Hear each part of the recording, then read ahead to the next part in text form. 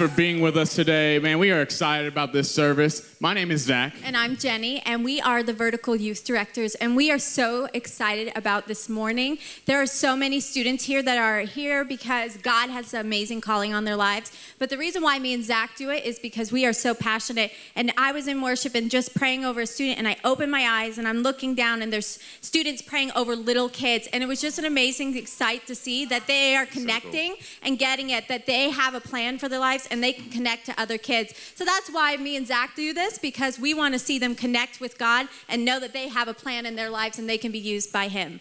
Yeah, so we're going to talk about a verse today. It's 1 Timothy 4:12, and it reads that uh, don't let people despise you because of your youth, but be an example to all believers in five areas: in your speech, your conduct, love, faith, and purity.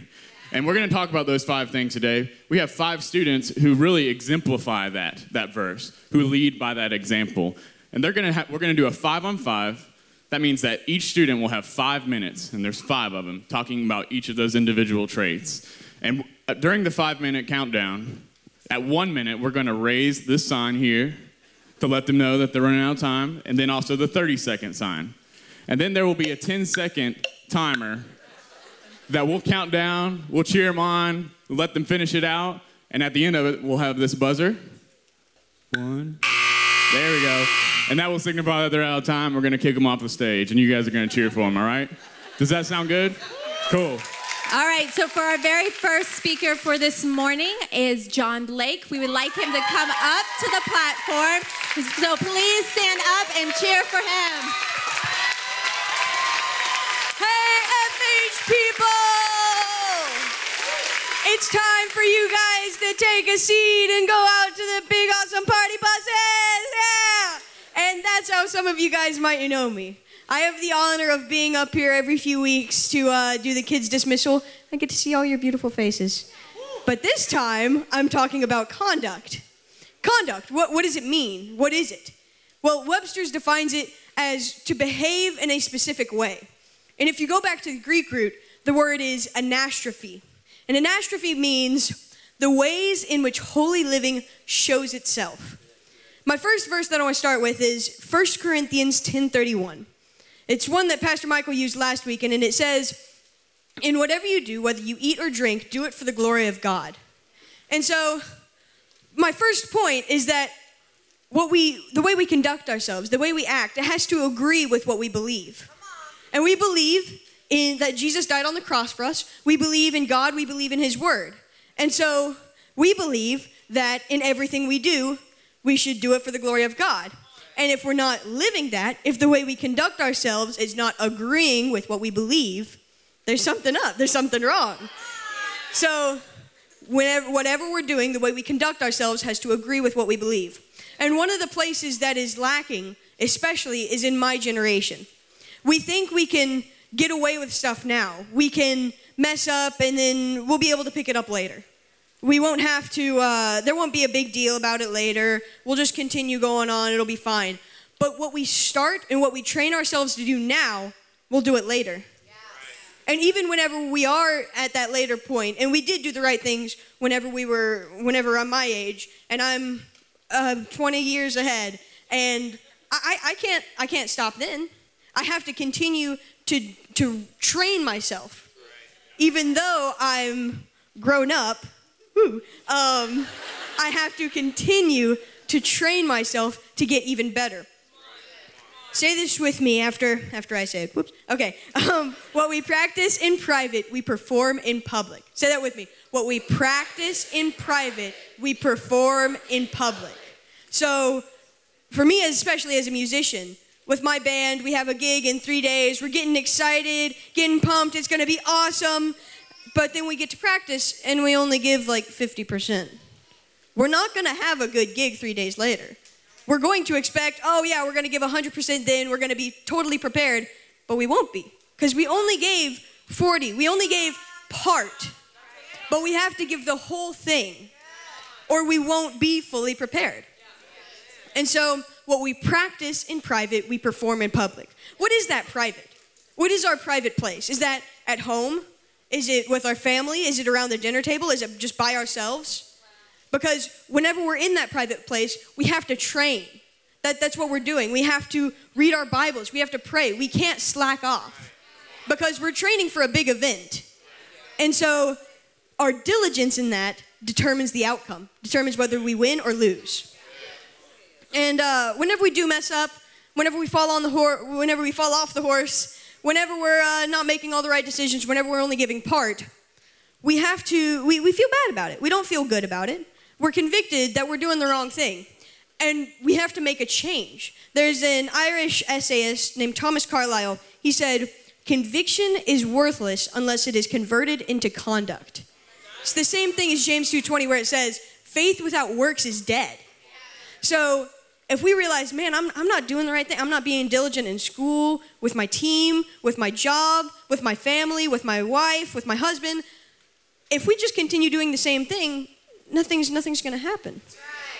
There, there's not going to be any, any difference in our lives. Whenever we see what's wrong in our, in our hearts and change that, we choose to change that, that's when people are freed from addictions, freed from unhealthy living. And so, whenever we have made those changes and we're on the right path, we're going to run up against people who don't see eye to eye with us. And whenever that happens, um, if, well, for me, in a smaller degree, I'm very strong headed. So when I'm doing a chore and my parents tell me, hey, there's a different way that's easier to do it, I don't want to do it. I'm set in my ways. I, this has worked for me so far. I mean, why should I do your way? I'm the one actually doing it. Uh, um, but I have to act in authority under those who God has put above me. It's the same thing in a job, in a school, in a team, a coach, a boss, a teacher, a professor, a, a parent of any family member. What we practice in private, we perform in public. All right. Awesome. Thanks, John Blake. Man. That might be the most intelligent 14 year old I know. Man, that's great. Besides Pastor Michael, says the front row. So here's my challenge. We've, have, we've had one so far. We have five opportunities to take something home with us today, and you've heard one. So I challenge you look for that one gold nugget that you can take and put in your pocket and implement in your own life. And I think in that, just now, a good, uh, a good nugget would be what we practice in private, we perform in public, right? Is that good? Great. So my next guest, uh, she just graduated as a senior from uh, the youth ministry. She's just gone through our Julos leadership program, and she's just been just an influential person in our youth group. Please welcome Bangton McBride.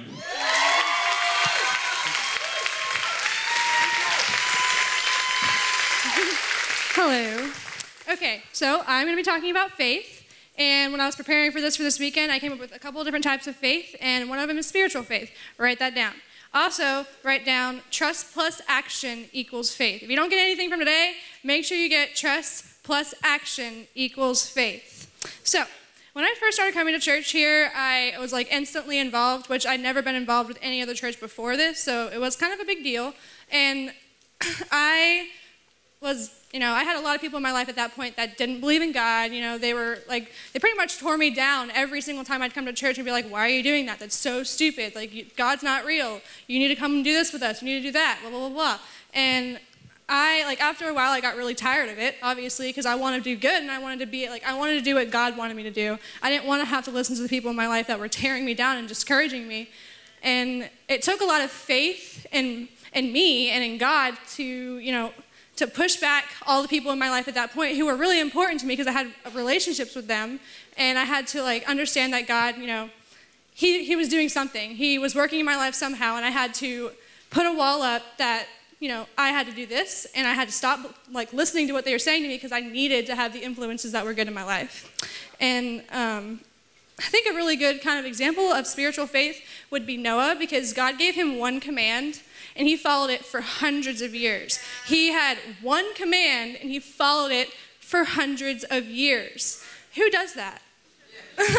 and the people around him constantly discouraged him, were like, You're dumb. Why are you building a boat? Like, obviously, you don't need it. And he continued to be faithful and persistent with God and like no matter what happened, no matter who kept telling him not to do it, he just kept going. He just kept going. He had faith that God would provide for him over anything.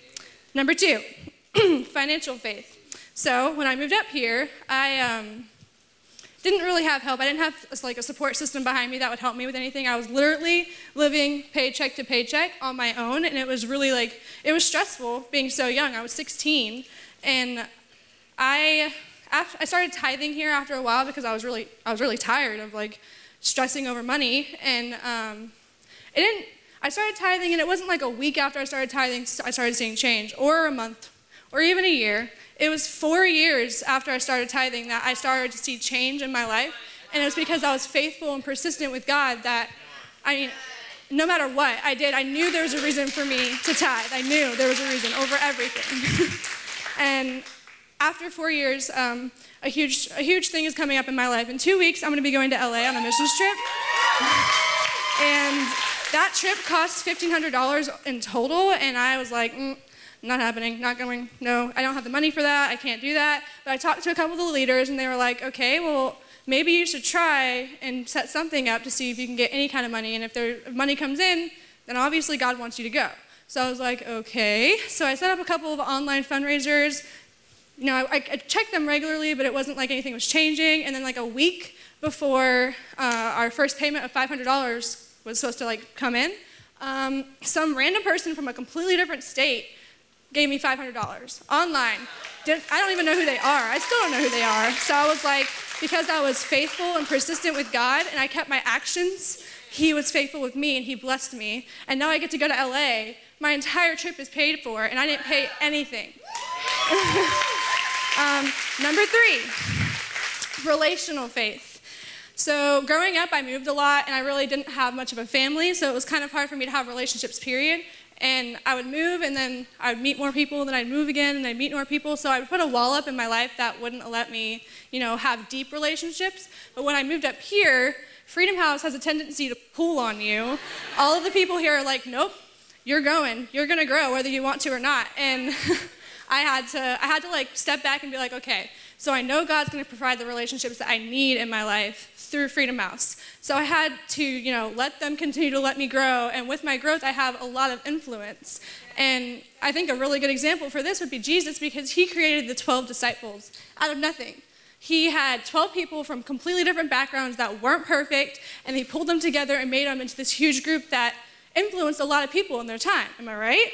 So I think a really good question for you would be who is your community? Um, are you surrounding your people with people that are here to help you grow and help you grow with influence? Because without influence, what's the point of being a Christian? You have, you have to be able to influence people around you, right? So, are, you, are, are your influences or the people that you're influencing good for you? Ah, so, trust plus action equals faith, guys.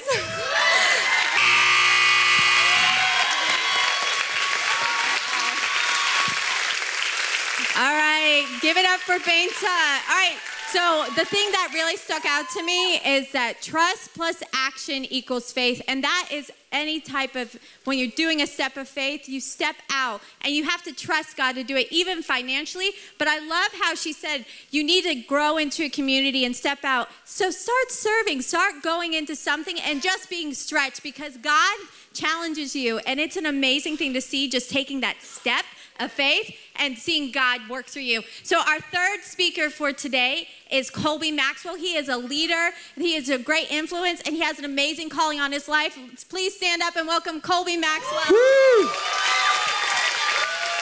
It is great to be here with you guys today. I don't know how the idea of um, younger people being less impactful than older people got started, but obviously we can see here that that is not true. So today I'm going to be uh, speaking on the power of speech, which is included in 1 Timothy 4:12, the verse that Zach mentioned earlier. And uh, I really feel like this is an important, uh, very important aspect of our lives every day because we all speak, and it really affects the young to the old in every different situation of life. And tongue or tongues are mentioned 129 times in the Bible. And this really uh, exemplifies its relevance to God. We can see that being mentioned this many times in comparison to other things, really, it shows how important it is in our everyday lives. And these uh, references aren't really toward the anatomy part of our body, our actual tongue, but more in reference to uh, speech or language and things like that. And uh, you guys ever, you know, heard a song and it just got you all sad? Oh, man, that song really hit me right here. You know, that really upset me. That short 30 seconds of a song that you heard, real, it, it can impact your entire day from the short little thing. That's just a really small example of really the power of speech that is in our lot, that is uh, shown in our lives every single day. Uh, the same effect with happy things, you know, happy music, happy movies. Things really can impact us through speech that we never thought they really could. And so a really cool uh, verse is Proverbs 18:21, and I'm going to be going through these pretty fast, so you guys can follow along if you can keep up. Uh, and it says, "Death and life are in the power of the tongue, and they that love it shall eat its fruit." And basically, what this is saying, it's, it's God's way of saying to us, hey, there's power in what you say. And this is a great responsibility. And I think it's a very powerful responsibility because you can speak life over somebody or you can speak death. And, and as we see here, this has actual power. Okay? You, you're not, when you're calling someone something, you're not really just calling them that, you're speaking that over them. And that, as we see here, has power. And so the next verse I'm going to go to is Matthew 12, 34. And it says, and this is Jesus talking to the Pharisees, which were, which these Pharisees were the religious leaders of back then. And most of these people were corrupted at heart and really didn't have an understanding of what they were preaching. And uh, Jesus says to them, You offspring of vipers. First off, you don't want to be called a viper by Jesus. Usually not a good thing. You offspring of vipers, how can you speak good things when you are evil? For out of the fullness of the heart, the mouth speaks. Out of the fullness of the heart, the mouth speaks. So, whatever's in my heart, I'm going to say? Yes, exactly. Whatever you're putting in your heart, that's what you're going to say. This includes the music you're listening to, the people you're around, the things you're watching, the things you're not watching. You know, and this really connects with the verse before, Proverbs, because you have power in what you say. So if you're putting things into yourself that are negative, you're going to speak negativity and therefore give power to it. So it's really important about watching what we're putting into our hearts. Okay? It's it's an extreme measure to like to basically it's not meaning you have to cut out all secular music or anything. It's, it's, that's too extreme. Basically, it's what it's saying is be responsible about it, you know? And so, you guys ever seen the Orbit commercials? Clean up a dirty mouth, you know, get that bright white smile. Well, this is my three steps to cleaning up a dirty mouth and getting a bright white smile, okay? So, step number one to cleaning up dirty mouth bad input is equal to bad output. And so, basically, this again is the movies you're watching, maybe the things you're watching online, the people you're talking to, if people are speaking negatively over you, it's going to have an impact on your heart and what in turn you say. And uh, so, that's a really important thing is to get rid of the bad input and therefore the bad output. Uh, step number two to clean up a dirty mouth is good input is equal to good output. And this is really cool because if you replace, if you uh, get rid of the bad, you have to replace it with something else. And if you don't replace it with something else, then nothing is going to change. So replacing it with something else good is going in turn to give you good things out. Reading your Bible every day, getting around people that are speaking positively of your life, um, allowing people to influence you positively and therefore in turn change your heart. And so, step number three to clean up a dirty mouth is a critical heart is equal to critical words. And this is more in reference to how we speak to people. And that's a very important aspect in today's culture, is how we speak to people. And if I'm looking for the bad in somebody, I'm going to speak to the bad. And as we saw in Proverbs, if I'm speaking to the bad, I'm giving power to the bad. Okay, so a critical heart is equal to critical words. So look for the good in somebody, because if you look for the good in somebody, you're going to speak to the good. Okay? And when you speak to the good, you are going to in turn give power to the good. You know? So it's, it's very important. Oh, there's the countdown. okay, here we go. Bad input is equal to bad output. Stay with me, guys. Bad input is equal to bad output. Good input is equal to good output. Give him a hand.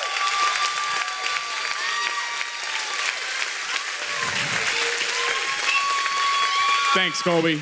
Wow, it really does uh, show that what we surround ourselves with, whether it be positive or negative, really impacts our life. Uh, you got to clean up that smile. You got to get that uh, that dirty mouth. You got to clean that up. You know. Uh, so we've talked about three th- three so far. We've talked about conduct. we've talked about faith, and we've talked about speech. And now we're going to go into purity. So why don't you give a hand to Cabell Maxwell? Woo!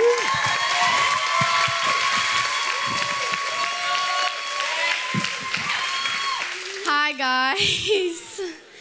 Um, I am 15. Well, I'm turning 15 in like two days, so I guess I'll call myself 15 for today. But I'm in 10th grade at Hough High School, and today I've gotten the honor to talk to you guys about purity, but I want to go in deeper and talk about sexual purity with you guys. And I think that God has specifically put this subject on my heart so I can talk about it with you guys, but I'm really nervous, so you have to help me out. so I'm going to start off with a couple of statistics. Um, the largest group of children who watch pornography are between the ages of 12 and 17. And in 2009, there were 400,000 teen pregnancies from the ages of 15 to 19. 19. Wow, that's crazy. I think that sexual relations in our society go unnoticed because it seems to be a common thing or reoccurrence or and it seems to be a part of our culture. It's something that we've always known and something that we've always done. And that isn't the way that god's planned it to be at all the way that he wants it to be the way that he has made us to be. And there's a reason why staying pure is so essential because in the bible in 1 corinthians 6.18 god is basically saying that you are god's temple and your body is god's body and the sexual immorality that you place upon yourself is unwillingly placed upon God, and we can't change that at all. We always tell ourselves that we have the right to do anything. When I want it now, I want it right then and right there. If I want a cookie, then I want it right then and right there, and I want to eat it right now. but is it worth the broken hearts or the broken relationships? And is it worth the lies to cover up the sins that you have done? Is it worth it? I don't think so. So we have to make sure that we stay pure before marriage. An example would be one of my friends. We were having a conversation about relationships and staying pure. And this was a serious conversation. And um, in one second, it was fine. And then in another second, she was saying that if the right guy came along junior or senior year, remember, she's in my grade so she's in 10th grade and she's saying this to me. If the right guy came along junior or senior even sophomore year that she that she would lose herself that she wouldn't stay pure anymore and she would lose herself to that guy. And it it blew my mind. I was thinking why would you do that? But since i see an issue that a lot of teens are faced with these days and it's why should we stay pure and why why should we remain pure and God thinks that staying pure is a precious thing and that it can be returned with God's forgiveness and God's help. But why would God give you a one time opportunity if it wasn't special to Him? Or if it wasn't special to us or people that care about us? And for some people who have made the mistake of, of not staying pure, there is forgiveness. But forgiveness isn't making what you did right, but it's acknowledging your our mistakes and turning to God for help. And another question is how do we keep ourselves from making this mistake? Well, we have to set boundaries. And we have to set boundaries in our relationships, like people that we hang out with, what we do with those people that we hang out with is a big one, and how we honor God in those circumstances. Because we are God's temple, and we must honor that. In our boundaries with staying pure, you have to know when too far is too far. If you're in a, in, in, a relationship with a guy or a girl, you have to know when it's too far. You always feel that knot in your heart. Has anyone felt a knot in their heart or something in their brain is just telling them, I'm not supposed to be doing this right now. What am I doing? And that's God's way of saying you're not supposed to be doing that right now or right then, and that you need to stop. And God God always puts that thought in our head or that grudge and it's he's basically telling us no you shouldn't be doing that. And a good way to keep our promise of staying pure would be by getting a purity ring. And i remember when my parents took me out to get my purity ring and i wanted this big fat diamond. And i was like oh i want that. And my mom was like that's an engagement ring and you don't need that. But But I wanted this big old fat diamond, but my dad and my mom just said no, so I got a really pretty one. But parents, I challenge you to get your ch- children a purity ring and at, the, at a, an appropriate age that they should be that they shouldn't be dating at. And um, if you're single you can get a purity ring too. Even if you're married you can get a purity ring to make that promise. It's an outward side of an inward commitment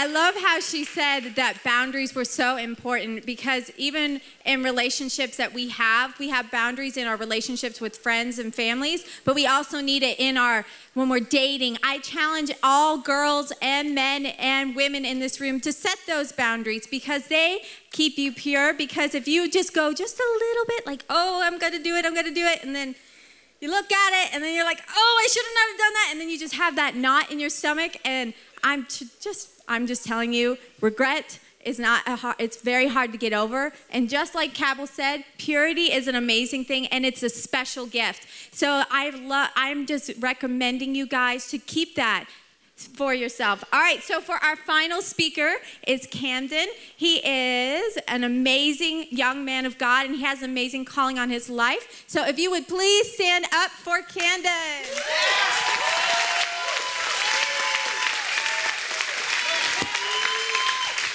Well, hey, everybody. Uh, first off, I'm going to say it's an honor and privilege to be speaking with you guys today.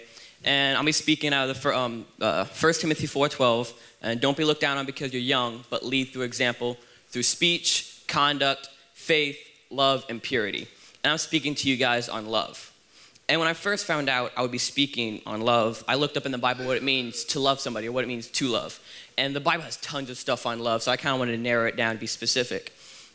So uh, one thing that stuck out to me is John 15, 13. And to kind of simplify, it just says, there's no greater love than to give your life to someone, to your friend.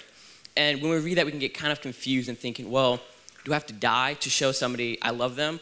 But I like to think of the disciples as an example because they gave their life to Jesus. They went with him, they shared the gospel, but they didn't die for him. But they showed love by giving their life to Jesus. And after reading that, I was like, okay, how can I be a disciple? How can I give my life to somebody? So I found a story in Matthew 25 31. You guys can turn there and a little background to this story. It's when Jesus is coming back down to earth and he's separating everybody to two groups. And it uses an analogy for back in the old days, the shepherd would separate two groups, the goats and the sheep. So it's kind of to connect with the shepherd. So he comes down and he separates uh, everybody into two groups righteous people being uh, sheep and the unrighteous being goats. And he goes over to the sheep and said, Thank you. You guys gave me food when I was hungry, gave me water when I was thirsty, and you gave me a place to stay when I had no place to go. And they're like, Well, when do we see, when do we see you hungry? When do we see you thirsty? And then in Matthew 25 40, he says, I tell you, whatever you did for one of the least of these brothers and sisters of mine, you did for me. And he goes over to the goats and says basically the opposite. You guys didn't give me food when I was hungry. You didn't give me um, water when I was thirsty. And they're like, well, if we saw you thirsty, we, we would have given you water. If we saw you hungry, we would have given you food. And then he says, but what you don't do for the least of these brothers and sisters of mine, you don't do for me. So I don't want to be looking at Jesus in the face and then turn my back on him because I'm selfish. I want to be in the group of the sheep. So turn to somebody beside you and say, don't be a goat. And so when I was preparing all this, I thought of some easy ways uh, and steps to be in the group of the sheep. And the first point is get involved inside of church. Get involved inside of church. And I'm not saying get involved in church because I want this church to be better because we already have a great church here. I'm saying get involved in church because it says in the Bible in Psalms 92 13, those who are planning the house of the Lord, they will flourish in the courts of our God. So I want you guys to get involved in church because it's good for your spiritual life and you'll be loving on people and you'll be in the group of the sheep. And we have many ways you can get involved here. We have a great greeting team, just saying good morning, commenting on something nice, like Pastor Troy's shoes there, pretty beautiful. Another great way we can um, serve in the church is kids ministry, just playing with kids. And what's awesome about that is we're not just serving the kids or saying good morning to somebody walking in. We're saying good morning to Jesus. We're serving, on, we're serving Jesus. And my second point is get involved outside of church, get involved in the community. And a great way I'm so lucky I get to do this is next week I'm going to LA for a missions trip. And like it said in Matthew 25, 40, what you do for the least of, you do for do to me. And when I think of the least of, I think of homeless people who can't pay for their food. They're cold because they don't even know where to stay. So I'm not just serving the homeless people, I'm serving Jesus. And another way I'm privileged to ser- serve in the community, our family and I, we're, serve, we're uh, involved in an organization. We help girls who are sex trafficked get out of that lifestyle, love on them, and it's just great to see them grow, and we're serving Jesus there too. It's just amazing. And when I'm reading all this and kind of writing it down, I think, well, who did this the best? And that's Jesus. And he literally gave his life for us. He didn't just serve us and follow us, but he, he died for all of our sins. And I like to think of it as he's going to come back down how he was brought here. When he was brought here, he was a perfect sheep, didn't sin, a perfect sheep. And we're all we're the goats, sinners, thieves, murderers. And we can't be a sheep because we're born through sin because of Adam. So the only way that we could be sheep is through a perfect sacrifice of Jesus. So Jesus died on the cross for us, and through his sacrifice, we can be sheep. So don't pass up the opportunity to be a sheep. And it says in Psalms um, 23 1, the Lord is our shepherd. So if the Lord is our shepherd, I want to be his sheep. And I challenge you guys if you're not involved in church, get involved. If, if the Lord is our shepherd, so be his sheep. Awesome. That's awesome. Great job. Great job. These guys had so much amazing stuff. I wrote a few things down. Uh, conduct. John Blake told us what we practice in private, we perform in public. That'll step on your toes. Faith. Benta challenged us to have uh, spiritual, financial, and relational faith, to trust God in every area of our life. Speech. Colby said, Hey, what's in your heart? It's going to come out of your mouth. What are you giving power to? Purity. Cabell challenged us. Make a commitment to purity. Guard the gift God has given you. And then, Camden, you did a great job of telling us how to love, what it looks like to lay our lives down, to be involved in the community, to serve other people, to love them like Jesus did. And you also said, don't be a goat, because it's bad. It's bad. It- it's bad. Uh, bad joke, I know. Bad joke. That joke was bad. But if we want to be found in the sheep, the righteous, uh, ultimately, many of us would ask, how do we do that? It's really easy. All you have to do is accept that Jesus died for our sins and he is our shepherd. And just accepting that he died for us. Man, that's so true. And and maybe you're here today and you would say, you know, uh, I'm not sure I would be counted among the sheep. I I would probably fall in the goat category. I've never given my life to Jesus. I've never accepted the sacrifice that Camden talked about. Well, the truth is, he died for all of us, for our sins. And we want to give you that opportunity right now today to say, Jesus, I believe in you. I accept that. So would you do me the favor? Just close your eyes, bow your bow your head right where you are. I want you to to think about that question. Am I a sheep or am I a goat? Am I following Jesus as my shepherd? Is he my savior? And if you would say no, well then I want to ask you to do something very simple and just lift your hand. We would love to pray with you to receive Jesus as your savior. So if that's you right now, just lift your hand. I see hands over here on the right. I see hands in the back, on the left, in the middle. Anyone else? Say, I want to follow Jesus. I see you up here, young lady. Thank you. Keep your hand up for just a moment. Want to know who we're praying with? Awesome. I see you in the back and the right. Anyone else? I want to follow Jesus. Make him the Lord of my life. Awesome. Well, Camden and I would love to pray with you. Camden is actually going to lead you in a prayer, and you just repeat after him to confess this and believe in your heart that Jesus is your Savior.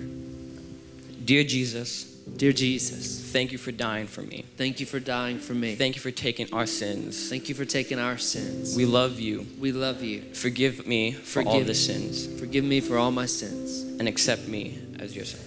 Accept me. In Jesus' name, In Jesus' amen. name. Amen. Awesome. Come on, can we celebrate with all of those who made this decision to follow Jesus? Awesome. Can you do me a favor? Stand up and let's give these students another hand of how great they did. Yeah. Woo! Good job. Awesome. Well, we're so proud of them. Uh, one last thing I'll tell you before you leave today. Students, Vertical tonight, it's the block party. Doors open at 6:30. You want to be here. If you are a student, you know a student, grab them, invite them, bring them tonight right here at 6:30. And it's the last opportunity to register for Epic Summer Camp, all of you students, 7th to 12th graders. So go out, register today. Thank you so much for being here today and worshiping with our students and having fun. You are dismissed. Have a great week.